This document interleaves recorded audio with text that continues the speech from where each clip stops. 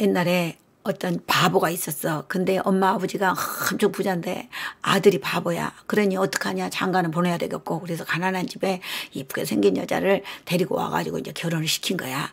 근데 첫날 밤에 있잖아. 아따 바보도 누가 안 시켜도 아주 첫날 밤에 치우는 거 겁나게 그냥 요리치고 저리치고 겁나게 잘한겨. 그러고 다 하고 난 다음에 느닷없이 알지도 못한 게 이 바보가 뭐란 줄 알아. 자기 부인 보고 야 너 수천이 아니지? 이런 거야. 그러니까 이 여자가 아니 아니에요 저 수천이요 맞아요. 그러니까 야 내가 수천인지 아닌지 어떻게 알아? 그러니까 아니 수천이다고 그랬어요. 그러니까 누가 누가 수천이라고 그랬는데 그러니까 어 3일 전에요 이장님이 오락에서 집으로 갔더니요 갑자기 저 옷을 벗으라고 그래가지고 제가 이제 옷을 벗었지요.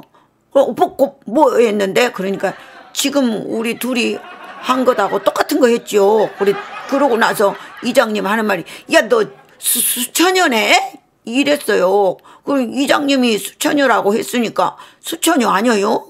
그러니까는 이 남자가 있다가 가만 생각하더니 이장님이 그랬다고? 그러니까 예, 이장님이 수천여라고 했어요. 그러니까 이 이장님이 수천여라고 했으면 우리 동네에서 제일 똑똑한 양반이 수천여라고 했으니까 너 수천여 맞네. 아이고 나는 수천여하고 시지 결혼했구만. 이